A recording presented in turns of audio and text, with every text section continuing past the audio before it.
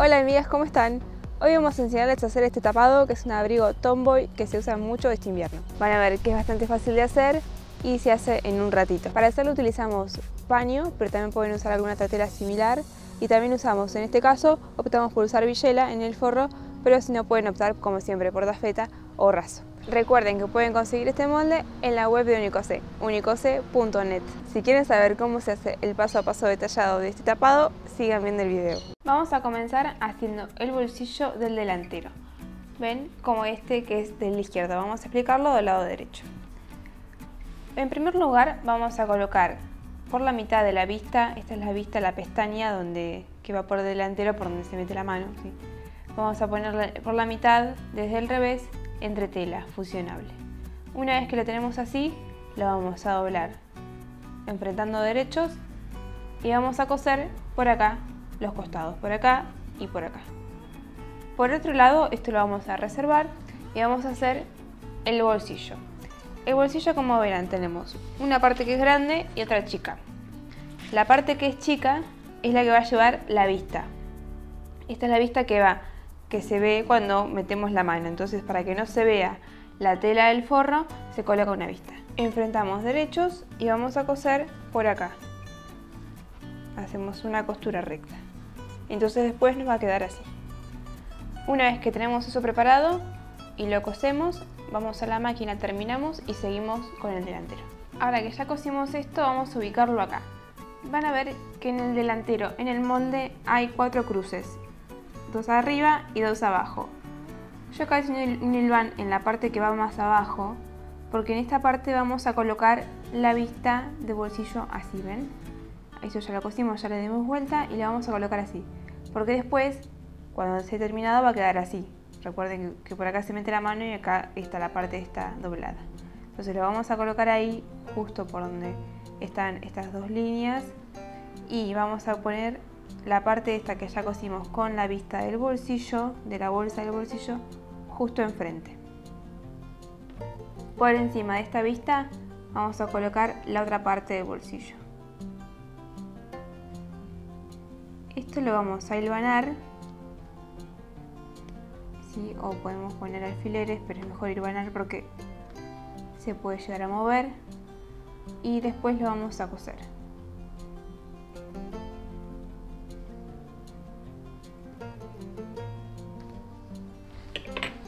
Lo que vamos a coser va a ser una línea recta por acá, desde donde comienza la vista, ¿ven? Eh, esta parte de acá, esta pestaña. No desde acá, sino desde donde comienza hasta donde termina, que es acá, ¿sí? Y después vamos a hacer una costura a un centímetro de distancia por encima de la vista del otro lado del bolsillo. También a la misma altura comenzamos, hacemos una costura recta hasta ahí y terminamos. Una vez que tenemos esa costura, vamos a abrir. Una vez que lo cosimos, vamos a hacer el corte. El corte va a ser desde un centímetro desde adentro de la costura, seguimos todo por el centro, cortamos la tela principal, la tela del saco, ¿sí? hasta un centímetro antes de que terminen las costuritas que hicimos recién, ¿sí? como hacemos siempre. Lo único que ahora no vamos a cortar esta parte de acá, sino cortamos solamente la tela. Hacemos ese corte y cuando llegamos al centímetro, antes de terminar, hacemos los cortes en pico, en diagonal, que hacemos siempre en los bolsillos, en ambos lados.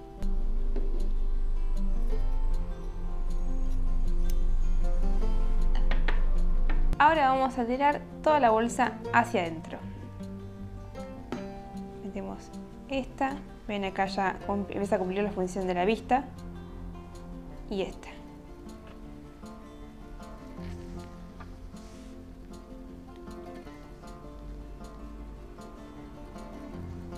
Una vez que la tenemos así, giramos y tenemos que hacer coincidir los bordes para cerrar la bolsa. Estos bordes de acá vamos a coser. Y después, una vez que lo tenemos cosido,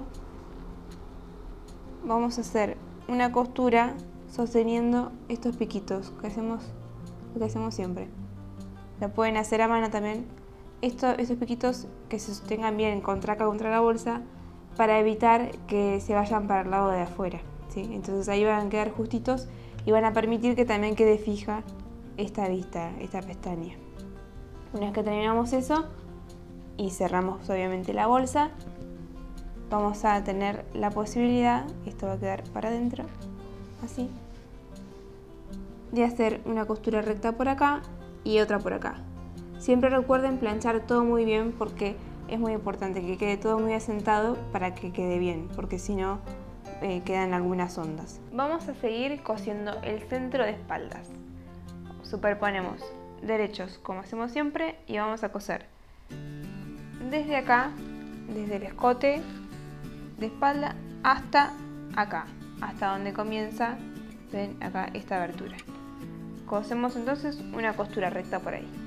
Después de que cosimos y de que abrimos la costura con la plancha de la espalda, vamos a enfrentar derechos delanteros con derechos de espalda y vamos a coser por hombros. Hacemos coincidir bien y hacemos una costura recta. Después de coser los hombros, vamos a hacer coincidir sisas también y vamos a coser desde sisa hasta abajo una costura recta cerrando entonces los costados de nuestro saco. Lo siguiente va a ser armar las mangas. Empezamos cosiendo primero en la manga encimera con la manga principal por acá y después una vez que la tenemos cerrada cosemos del otro lado. Recuerden pegar entre tela en el puño, ¿sí? porque esto parece poco pero después da la diferencia, ¿sí? queda, queda mucho más lindo el puño con entretela que solo. Así que antes de coserlo, obviamente, péguenla. Y después sí, hacen la costura recta por acá y después la siguiente que es esta de acá. Ahora vamos a seguir con las mangas.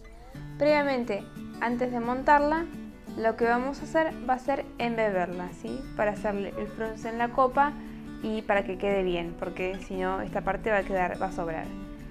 Lo que vamos a hacer para fruncir es lo que hacemos siempre, ¿sí? Hacemos eh, una puntada con la puntada más larga que tengamos en la máquina, en mi caso es 4, y aflojamos la tensión a 0. Después de que hacemos dos costuras paralelas, ven, a un centímetro de distancia cada una, vamos a fruncir tomando los hilos de abajo, los hilos de la bobina.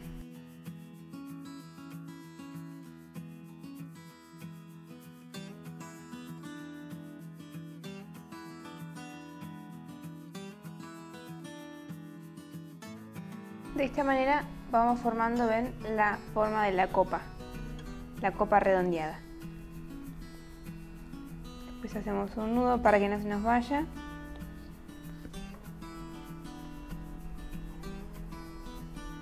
Acá quedó bien sujeto. Y ahora lo vamos a montar, sí, al cuerpo del saco. Ahora vamos a hacer conseguir el piquete que ya tiene el molde central de la copa, ¿sí? lo vamos a hacer coincidir con la costura del hombro. Lo ponemos así, ahí, y ponemos un alfiler. Ahora vamos a ir bajando hacia un lado y hacia el otro.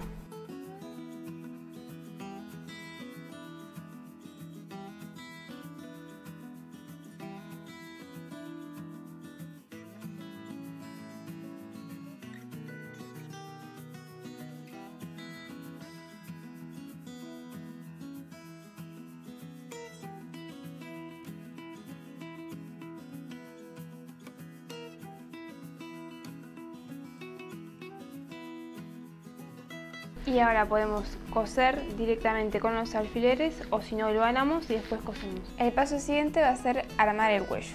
Yo ya le pegué entre tela a uno de los lados, ¿ven? por el revés, y ahora voy a enfrentar los derechos de tela así y lo que voy a coser va a ser esta parte de acá, toda esta parte de acá arriba, así hasta abajo. Esta, esta parte después va a ir cosida al saco, pero después cuando la demos vuelta. Por lo pronto hagamos esta costura por acá. Después de que lo cosimos y le dimos vuelta y planchamos como acá, vamos a coserlo al tapado. ¿Qué vamos a hacer? Vamos a hacer primero, vamos a buscar el centro del cuello y lo vamos a hacer coincidir con la costura de espalda. Lo hacemos coincidir ahí y de ahí vamos bajando hacia los lados.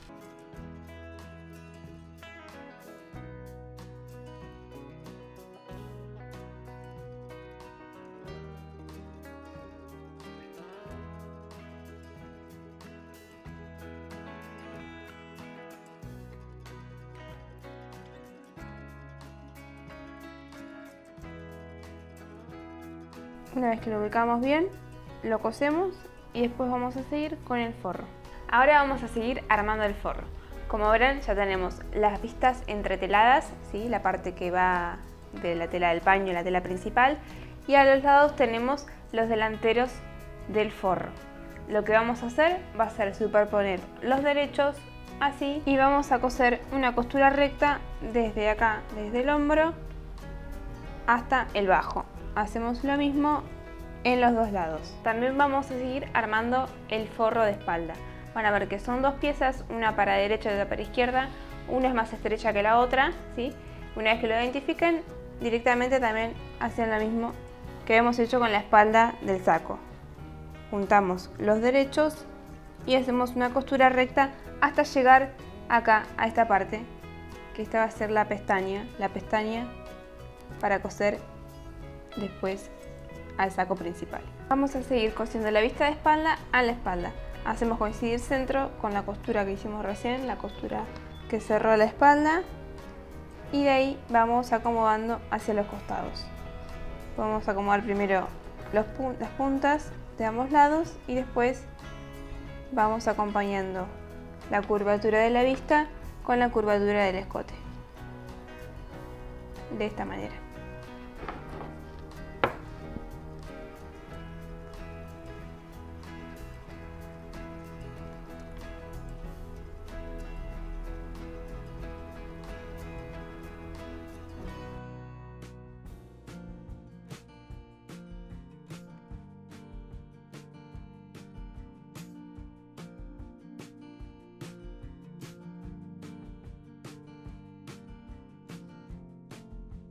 Cosemos eso y ya después podemos coser por hombros la parte del forro de la espalda con las dos partes del forro delantero. Y ahora para terminar de armar el forro vamos a enfrentar los derechos delanteros con el derecho de espalda. Vamos a coser por hombros, igual que hicimos con el saco, y también vamos a coser los costados. Después vamos a armar las mangas, que también llevan bajo manga y manga principal, y también lo vamos a montar al igual que hicimos con el saco. Una vez que tengamos eso, ya lo tenemos preparado para forrar directamente el saco. Ahora que ya armamos el forro, lo vamos a montar al saco como dijimos antes. Antes, eh, cuando estén cosiendo las mangas, si quieren lo que pueden hacer es dejar una porción sin coser abierta de una de las mangas, cualquiera de las dos y cualquiera de las costuras. Eh, esto es para que después podamos darlo vuelta. Si no lo hacen, lo que pueden hacer si no es después descoserlo, pero ya si, si pueden ahorrar tiempo dejando sin descoser es mucho más fácil. Entonces ahora sí vamos a enfrentar. Enfrentamos los derechos del forro, ven, este es el derecho del forro y este es el derecho del saco. Vamos a enfrentarlos y vamos a coser por el centro de espalda. Hacemos coincidir como siempre primero la costura de espalda del saco, que es esta, con el centro de la vista de espalda del forro. Hacemos coincidir eso colocamos un alfiler así. Después hacemos coincidir las puntas ¿sí? hacemos coincidir ahí. Lo mismo del otro lado. Esto lo hacemos para nivelar ¿sí? para que no nos quede una parte más larga que la otra. Y ahora sí lo que podemos ir haciendo es acomodando bien. Como vamos acá justo el, corte de, la solapa que coincida. Acá también van a ver que coincide la costura de hombro del forro con la costura de hombro del saco.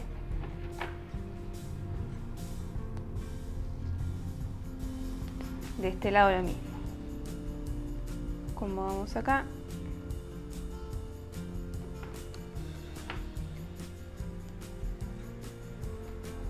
Y a esto lo vamos a hilvanar si pueden y a coser recuerden coser con una aguja de las más gruesas eh, una número 14 por ejemplo porque estamos trabajando con muchas capas de tela y sobre todo se trabajan con paño tan grueso como este una aguja más finita, un número 10 por ejemplo, se va a romper. Vamos a coser también los laterales, ¿sí? desde acá arriba, desde el escote hasta el bajo. Hacemos coincidir, bueno, ya como, como viene, ya como cosimos el saco, ya está unido esto. Simplemente falta cerrar acá, del otro lado lo mismo y el bajo. El bajo también lo vamos a cerrar por completo porque después vamos a dar vuelta por la manga. ¿Se acuerdan que dejamos abierta una porción de la manga? En el bajo lo que tenemos que hacer es esto, miren.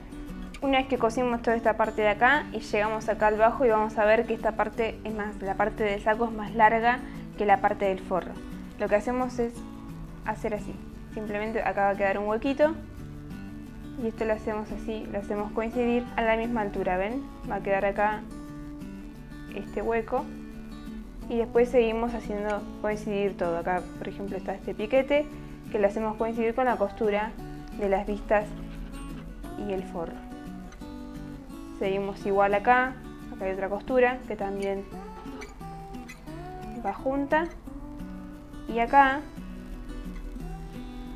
en, la parte de la espalda también vamos a hacer eh, coincidir el bajo.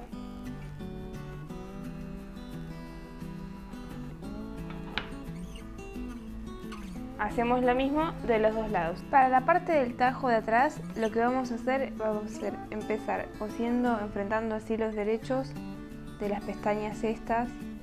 Vamos a coser ahí. Por otro lado, para esta parte, que es la parte que cruza, eh, vamos a hacer esta costura. Vamos, a medir donde justo está el piquete eh, del doblez. Vamos a hacer una costura así acá. Y por el otro lado después de coser eso, lo que vamos a hacer va a ser desde acá cosemos toda esta parte de acá. Después de coser esta parte, vamos a coser esta otra parte. Que lo que hacemos es esto. Hacemos coincidir también. Así. Hacemos coincidir los derechos y cosemos por ahí.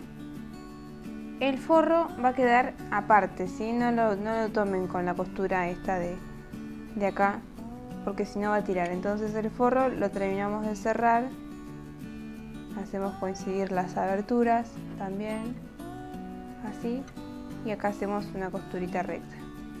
Pues si quieren lo pueden, eh, una vez eh, terminado, sujetar el forro con, con el tajo, pero por lo pronto no, porque si no va a tirar. Una vez que tengamos cosido, acá lo que vamos a hacer, ya desde el lado derecho, cuando estemos dando de vuelta, vamos a hacer esto. Y va a quedar así. ¿Ven? Va a quedar con la terminación así. Pero esto lo vamos a poder acomodar recién después desde el, desde el revés del saco, ¿sí? con el saco terminado. Ahora para coser las mangas lo que vamos a hacer, vamos a hacer coincidir las costuras de cada una y hacemos coincidir los derechos. Entonces acá tenemos una costura, esta costura del bajo, la hacemos coincidir ahí. ¿Ven? Estamos haciendo coincidir derechos y costuras.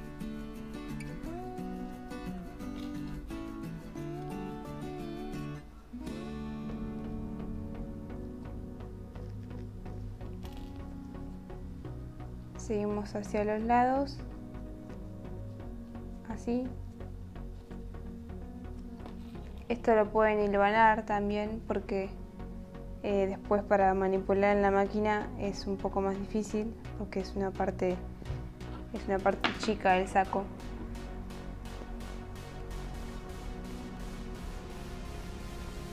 También lo pueden coser a mano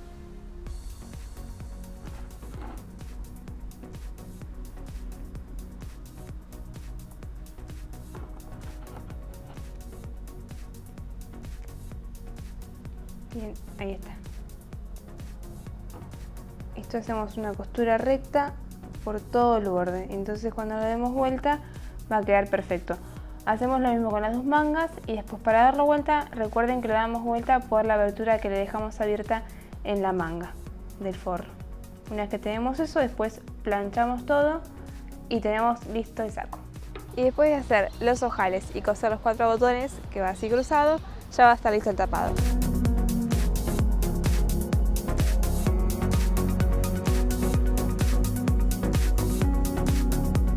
Recuerden que si tienen alguna duda nos pueden dejar su pregunta abajo en los comentarios y síganos en nuestras redes sociales, ahora también en Instagram y suscríbanse a este canal de YouTube para ver más tutoriales como este, porque con único C coser es fácil.